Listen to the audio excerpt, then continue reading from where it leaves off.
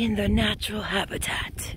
You see two dumb Arabs versus a male duck guarding his lovely baby mama's egg. Hey boy, look. They're about to get fucked up. This is going to be funny. I'm trying to be friends. This is going to be epic. hurry up, hurry up, quick. He's coming, he's coming. Tutu, you do not want to be with daddy because his duck is about to chase him.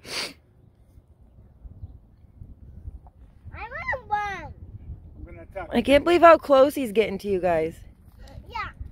I can run faster Okay, go, than go, the boy. Peter, look, we're friends. We're good. I want that seagull gone.